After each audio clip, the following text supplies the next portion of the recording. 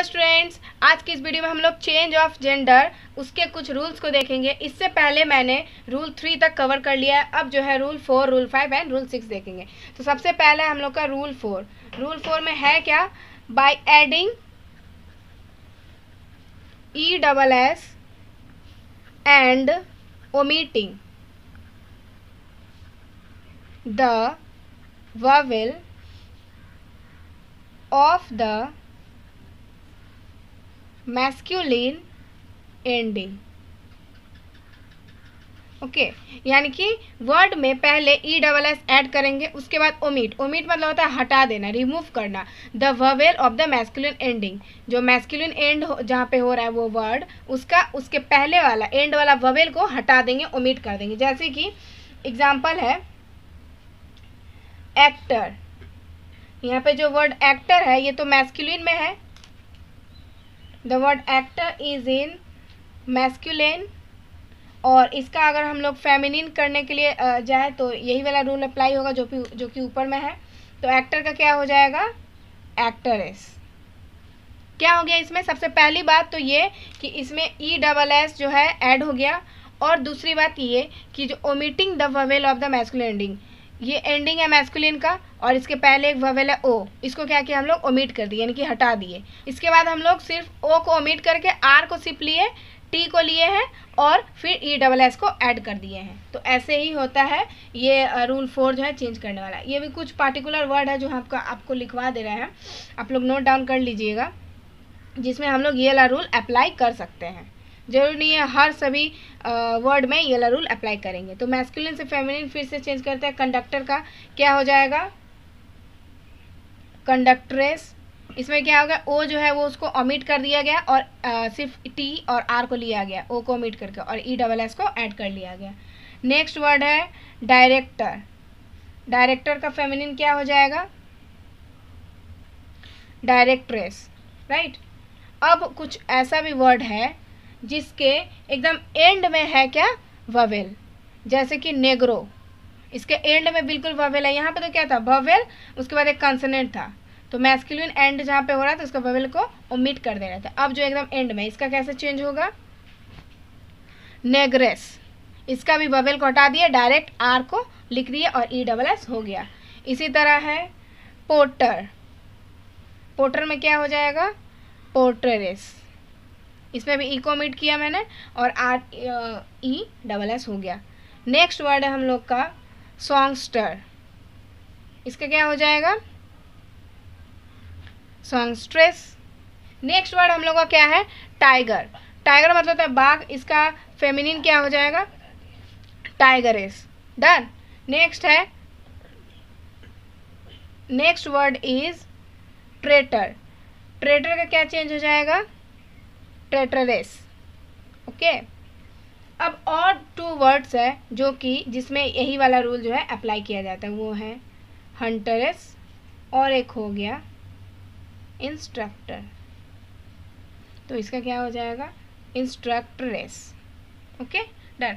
यहाँ पे जो एक वर्ड नेग्रो है, यहाँ पे लास्ट में ववेल दिया हुआ है, जिसको हटा हम लोग ई डबल एस किए हैं। तो ये तो एक अलग कैटेगरी नहीं हुआ, बल्कि इसी में वर्ड है मतलब इसी कैटेगरी का, बस सिर्फ़ इसके लास्ट में एक ववेल नहीं अगर ऐसा हम लोग को मिलता भी है तो उसको हम लोग ऐसे ही करके फेमिनिन चेंज कर देंगे। और ये जो सारा कैटेगरी है, ये इसी का कैटेगरी से बिलोंग करता है।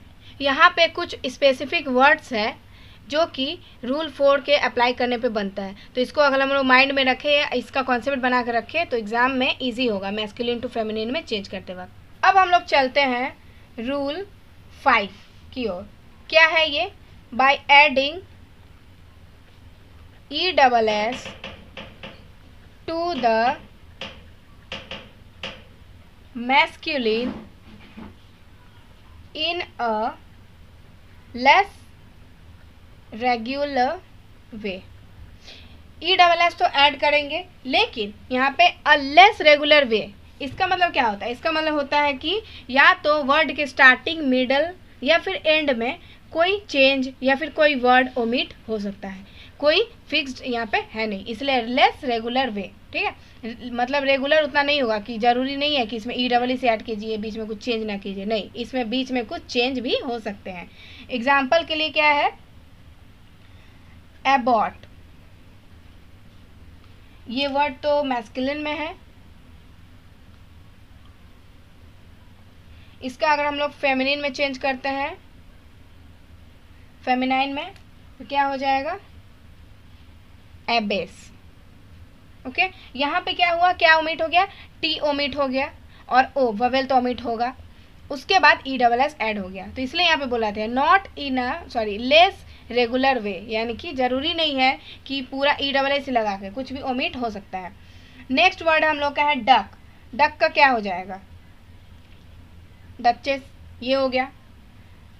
इम्पेरर इम्पेरर का क्या हो जाता है? Empress next is governor governor का क्या चेंज हो गया? गवर्नेस यहाँ पे डक था। के को रिमूव कर दिए। एच उसके बाद ई डबल एस हो गया।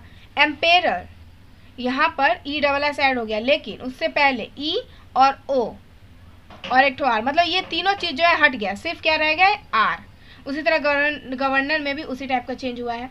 Next is sorcerer sorcerer इसका क्या हो जाएगा? सौर से रस। ये हो गया हम लोग का चेंज सौर से रस। यहाँ पे तो टोटल फाइव वर्ड्स है। More five words are there जिसमें जो हम लोग का ऐसा चेंज जो है ऑकर होता है। मास्टर का क्या हो जाएगा? मिस मिस्टर का क्या चेंज हो जाएगा? मिसेस मार्क्विज इसका क्या चेंज हो जाएगा? Marchioness next is murderer इसका फेमिनिन वर्सन क्या होता है? मर्डरस अनदर इज़ मास्टर इसका क्या हो जाएगा? मिस्ट्रेस यानी कि मास्टर का मिस भी हो सकता है और मास्टर का एक बार मिस्ट्रेस भी हो सकता है। तो आप लोग ये टेन uh, वर्ड्स को हमेशा माइंड में रखिएगा क्योंकि एग्ज़ाम परस्पेक्टिव से इंपॉर्टेंट है। मैस्कुलिन में फेमिनिन में चेंज करते वक्त। ठीक है? इसमें कोई फिक्स रूल नहीं रहता, बस ई डबल एस ऐड करना ये फिक्स्ड है। बट बीच में चेंजेस हो सकता है या फिर लेटर्स ओमिट हो सकते हैं या ववेल ओमिट हो सकता है, ये हम लोग कुछ कह नहीं सकते ओके अब हम लोग आगे चलते हैं rule six rule number six की ओर। क्या है ये? फॉरेन फेमिनिन्स ये हम लोग का टॉपिक है। फॉरेन फेमिनिन्स इसमें होता क्या है? फॉरेन फेमिनिन्स में जो मैस्कुलिन में वर्ड है और उसको फेमिनिन में चेंज करते वक्त हम लोग का कोई आइडिया ही नहीं होता है कि इसमें होगा क्या चेंज तो इसको जो है, ये कुछ वर्ड्स है जिसको हम लोग को लर्न कर लेना था या फिर माइंड में हमेशा रखना पड़ता है। ये कुछ पार्टिकुलर वर्ड्स जो है। तो पहला है एडमिनिस्ट्रेटर इसका क्या चेंज करेंगे हम लोग? चेंज हो जाएगा फेमिनिन में एडमिनिस्ट्रेट्रिक्स ओके हम लोग सोचे भी नहीं थे कि इस तरह से कुछ चेंज हो जाएगा बट ऐसा ही चेंज होता है। ये रहा मैस्कुलिन और ये रहा फेमिनाइन एकदम बिल्कुल ऑड मतलब चेंज हो जाता है तो इसको एग्ज़ाम परस्पेक्टिव से ये सब वर्ड इंपॉर्टेंट भी है। ये सब एग्ज़ाम में आ भी जाता है तो हम लोग ये सब माइंड में रखना पड़ता है। ब्यू इसका क्या चेंज हो जाएगा? बेली चेंज हो गया। कजार। इसे बोल ही दिया है फॉरेन फेमिनिन यानी कि ऐसा ऐसा फेमिनिन वर्ड आएगा, ऐसा लगता है कि फॉरेन से ये वर्ड जो है आया है। Next is czar. इसका क्या चेंज हो जाएगा? Czarina, czarina. Next is don इसका चेंज हो जाएगा डोना। अनदर इज़ एग्जीक्यूटर इसका हो जाएगा executrix more there are only total five words and more five words are there hero का क्या हो जाएगा? हीरोइन कोई रूल यहाँ पे समझ में नहीं आ रहा, कुछ पता भी नहीं चल रहा। बस ऐसा है कि हीरो का हीरोइन फेमिनिन वर्ड है। नेक्स्ट इज़ प्रोसेक्यूटर प्रोसिक्यूटर का क्या चेंज हो जाएगा? Prosecutrix another word is signor signor का हो जाएगा? Signora more two words are there next is sultan sultan का क्या चेंज हो जाएगा? Sultana and the last one testator testator का हो जाएगा. टेस्टाट रिक्स ये कुछ वर्ड्स है मैस्कुलिन फेमिनिन से मैस्कुलिन से फेमिनिन में बदलने का, जिसको हम लोग को माइंड में रखना पड़ता है हमेशा, ठीक है? इसमें कोई रूल है नहीं. रूल सेवन इसमें क्या है? नाउन्स इन कॉमन जेंडर मतलब कि वो सारा नाउन जो कॉमन जेंडर यानी कि जिसको देख के पता नहीं चलता है कि वो मेल है या फीमेल है, इसका मतलब वो कॉमन जेंडर के लिस्ट में आता है। तो उसका मैस्कुलिन से फेमिनिन में चेंज नहीं किया जाता है। जैसे कि baby next word is thief orphan parent enemy bird pupil मतलब होता है विद्यार्थी। फ्रेंड नेक्स्ट वर्ड है सर्वेंट नेक्स्ट इज़ चाइल्ड फिर हम लोग का cousin another is relation and the last word is person तो यहाँ पे कुछ स्पेसिफिक वर्ड्स हैं, जो कि कॉमन जेंडर कैटेगरी में आता है और इसका हम लोग मैस्कुलिन से फेमिनिन में चेंज नहीं करते हैं। तो आज की इस वीडियो में बस इतना ही।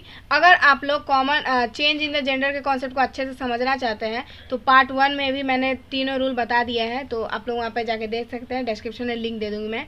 और अगर आप लोगों को कंटेंट अच्छा लगा हो आज के टॉपिक का तो ज़्यादा से ज़्यादा शेयर कीजिए लाइक कीजिए और मेरे चैनल को सब्सक्राइब कीजिए। Thanks for watching